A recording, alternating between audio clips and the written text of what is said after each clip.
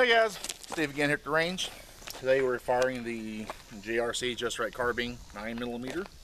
We have my Thompson Machine ISIS 2 suppressor on there and 9mm. We have loaded in it, so my hand loads. That right there is 125 grain cast lead hollow point, cast from a Lyman Devastator mold. Uh, we've got loaded with some 700X powder, uh, chronos of a pistol around 1,034, 1,035 feet per second. Uh, we're going to shoot a rifle for first time basically and see how she does, shoot some water jugs and see if she expands. All right, let's watch.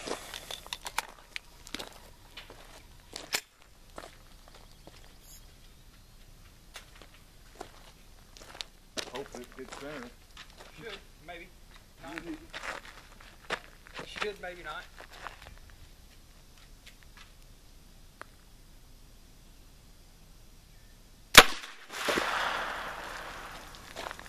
Again. Do it again. We'll have one in there. You should have put maybe seven more bullets. You just start knocking them off.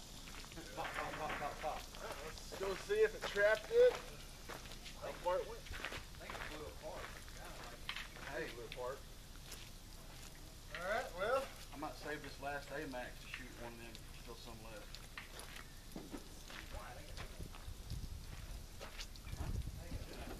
Okay. That's what I want to see. Got it? Now this one got knocked off and it busted. So, to do Here's your, here's your bullet. Yeah. What's the left side? There's a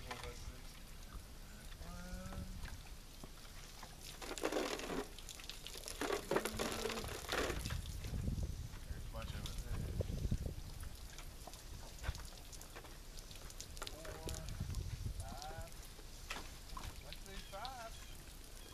Hey, there's a there's a round chunk of that one. Oh yeah? The base of it. Uh,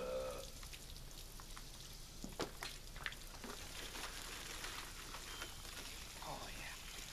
Oh yeah.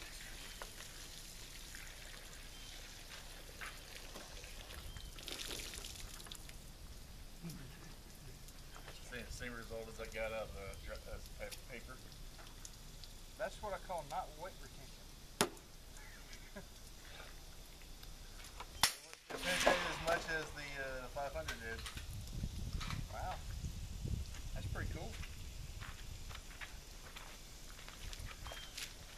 There it goes. All we had left, what we found. It went in six jugs just like the 500 did. And that's what we have left. We have the base and petals peeled away and broke off. And that's all I found so far. Alright guys, well, like, subscribe, and thanks for watching.